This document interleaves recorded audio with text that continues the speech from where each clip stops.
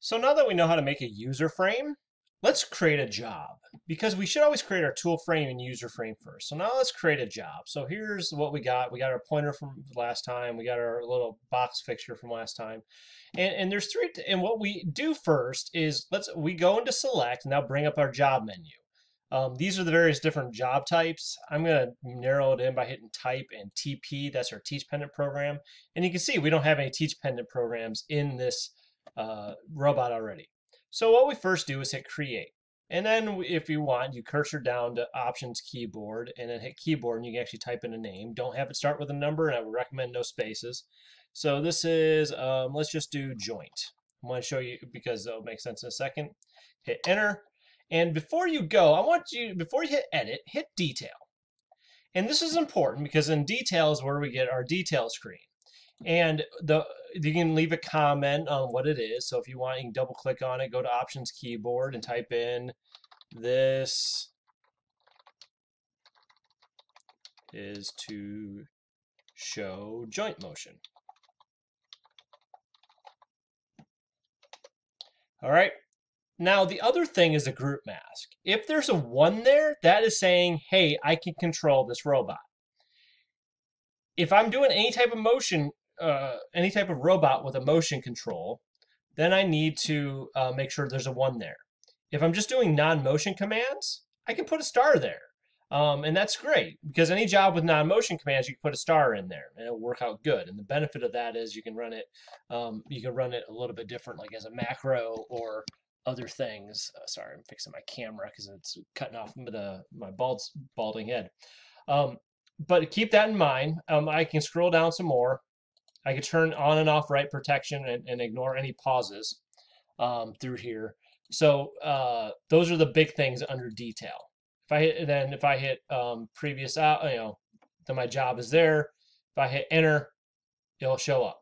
At, at any point, if I want to see the current job, all I gotta do is hit edit. Okay. So here's my job. The first thing you should do is is the very first thing I would go into see this little arrow way off to the side here? See this little arrow way off to the side? First thing you should do, move that arrow around and make sure instruction shows up under F1. Hit next page and go into offsets and frames. And then I would put in F, uh, F frame number as a constant and whatever your current U frame number is. I know it's two. If you don't know, hit shift and coord, and this will tell you your current tool and user frame that you're dealing with. The important that this will save you a lot of headaches because how you record your job is going to be based upon what your user frame and your tool frame is. If it's in world, it's going to be the, your user frame is zero. But if you're going between jobs, um, make sure that you're going to match whatever your current user frame and current U tool frame is. So instruction, next, offsets and frames, U tool number, constant of two. Okay. And if you want to make sure, so say you want to make sure those are your active frames, if you hold down shift and forward while enabling the dead man, um, it will make sure that those are your current shift and uh, your those are your current tool and user frame by hitting and then shift coord will bring up your um your menu okay? So now those are set. Now I can record my job. Um, joint motion is let's move the robot as fast as possible in any way possible to get to that position so joint motion is really good if you're, you're going back to a home position or you're, you want if speed is at an essence to get something somewhere. Um, but you'll notice if you're doing joint, it may not go in a straight line, even if I do a straight line. So if I want to record a point, what I need to do is first hit point and make sure what's my active uh, motion type. I'm going to do this first one here. And once I click on it, it records a joint NP1. This is percentage of over uh, the percentage of the override or the max speed. So it'd be 100% or 40%. And then fine is a termination type. Um, if it's fine, then it's going to stop at that position. If it's continuous, it's going to kind of roll through that position. So think of this as a stop sign. Think of the continuous as a yield sign. Um, and so now, and anytime you see the at sign, it means I'm at that position. So if I hit shift and I notice I'm in the jogging user, I'm just going to hit um, uh, z z minus. And notice I moved away from that and I'm no longer there. this is showing everything up in um, in here. You can um, hide that if you want. Um, uh, where is it? Um,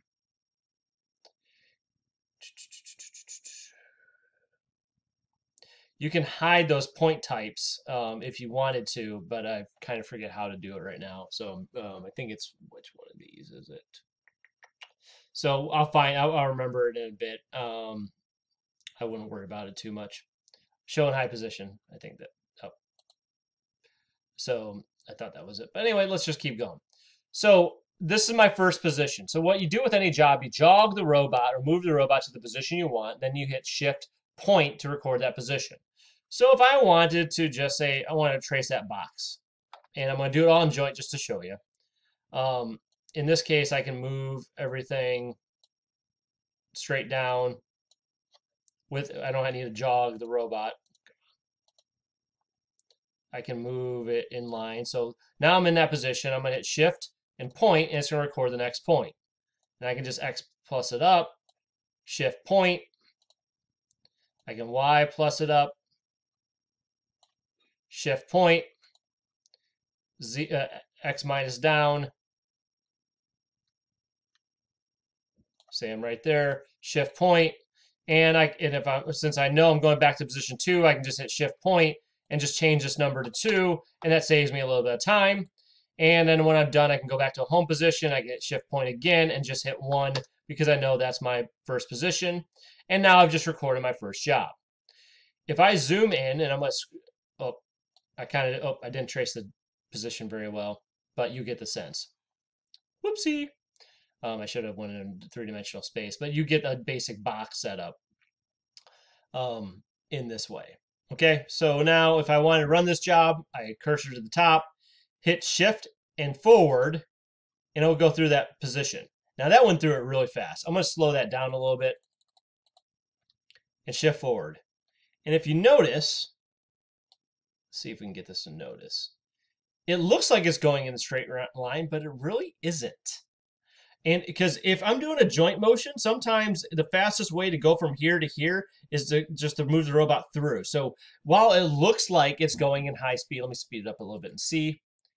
And this is fine. I'm going to change some of these. And if I want to edit, I all I got to do is from the number side, go in here, and I can change. I can go to choice, and I can change that to continuous. And let's see. Change a couple of those. And now let me shift forward.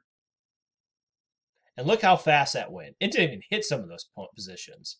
Let me do that again. See, it didn't even hit those positions because it went there because it went so fast. So be careful with joint and be careful with continuous. Um, change those back to fine. So that is my joint. That is all my joints, you know, my joint job. Okay let's create another job and I'm going to just call it, you know, linear because sometimes we actually want to go through a straight line. And this time we do a better job of following the box. But joint is fast as possible, do something. Okay. So let me go into select, create, and I'm going to options keyboard, and I'm going to just call this linear. Okay.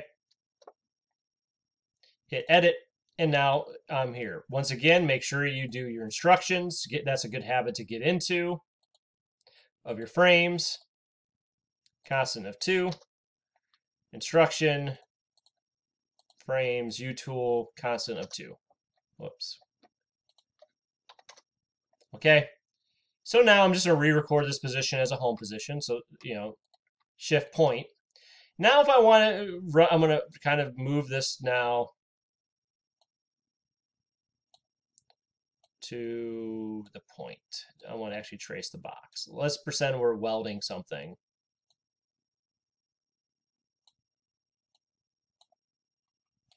That looks better. So if I want to, if, if I'm going in, I may not want to do a joint motion because that will be, you know, so if I'm doing a proper protocol, let me go out here if I'm going to do a, I may want to move it to a, uh, an approach position as fast as possible, and that could be a joint motion. But once I get to that point, I may want to subtly lower myself in with a, maybe straight down on a point if I want to make contact. So I may want to do this as another joint position.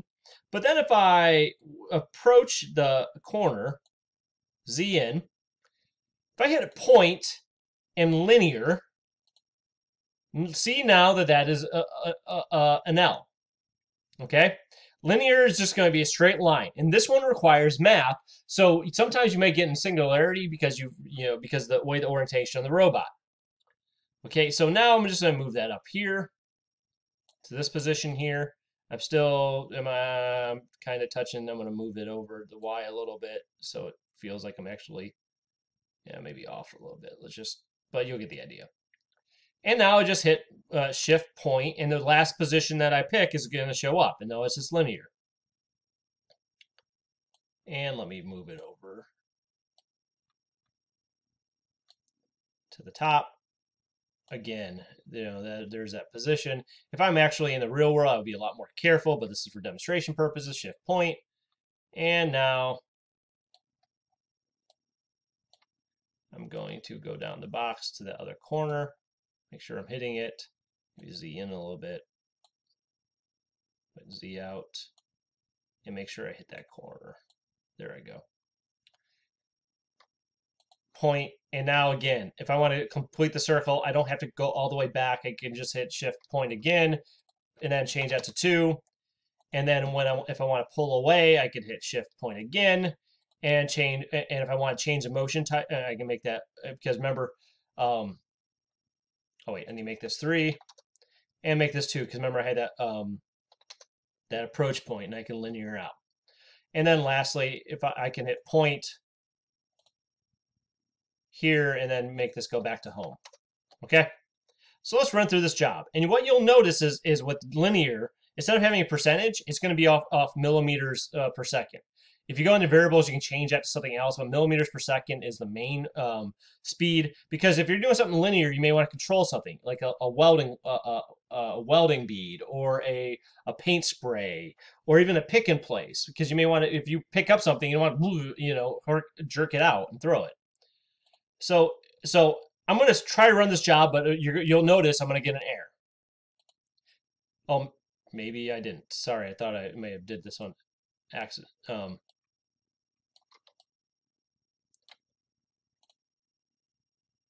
I thought it was going to give me another job and function, but you can see it's running much slower. Up, oh, singularity detected because it's too straight.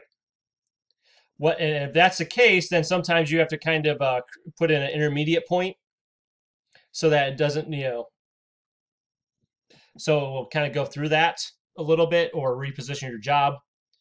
So let me go back to this position.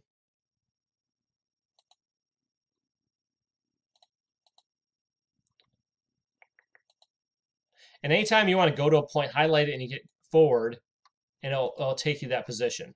Okay? But since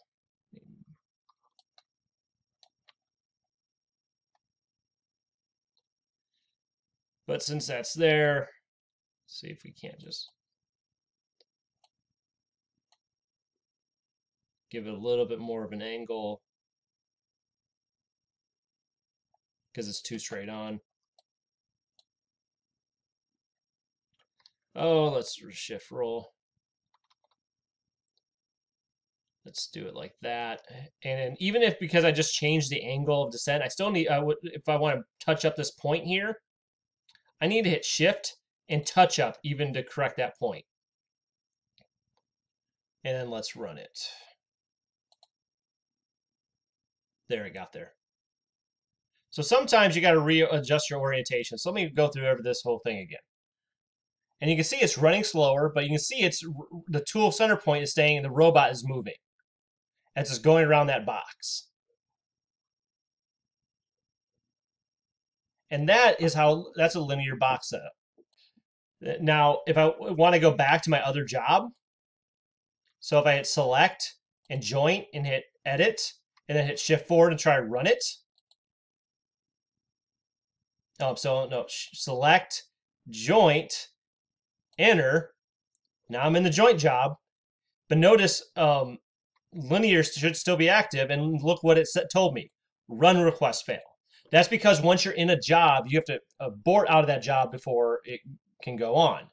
So if you hit function, abort all, and then shift reset, you should be able to run that job. And you can see I and it went through it much faster. So there's that, you know, there's the difference between joint and linear job motions. In another video, I'm, I'll talk about circles because that's a little bit more complex, but at least you now know, and I'll talk about job editing in that as well. So circle and job editing, but we, but we've learned how to create jobs. Um, we've done some very basic editing, um, how, how we um, record jobs and the like.